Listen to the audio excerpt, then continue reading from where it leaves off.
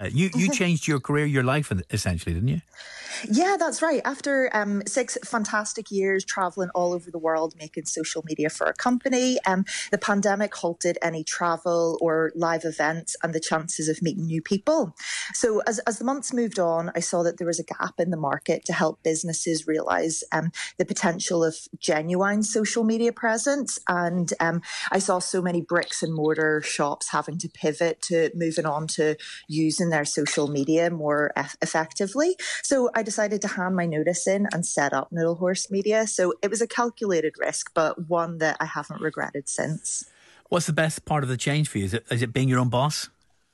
Yeah, I love it. I just yeah. love um, the buzz that I get whenever I'm um, explaining things for um, business owners that have come so naturally to me because I've practiced them for years, and just the buzz they get when they press post. Um, like I love being like their their biggest cheerleader, and um, giving them the confidence to show up on camera because so many people are so self-critical especially female business owners.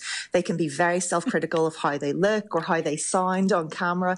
And i just love giving them the confidence boost to get out there and just try and put themselves out there and, and showcase what their business is about. You and this is true of lindsay as well but lynn you, you're you're obviously not frightened of risks because uh, you know it's one thing to move from one job to another job where you're employed by somebody else but you know in a pandemic during pandemic, just coming out of it, to start up your own company is a big thing to do.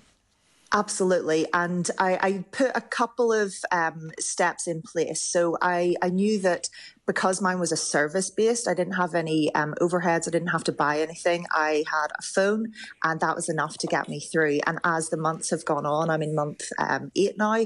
I, um, you know, I can start to like look at maybe getting different equipment, things mm-hmm. like that. And secondly, I also made sure to surround myself with the right people. And um, I joined um, um, an accelerator, a, a cohort called She Generate, who are a group of all Ireland female founders who really helped me with the nitty gritty of starting a business, you know, your finance sides, um, how to establish who your customer profiles are, hmm. all the things that I would have been floundering about, I think, for months more had I not had these uh, women just talking so openly and giving their time that we're already years down the line on setting up businesses. So that was excellent.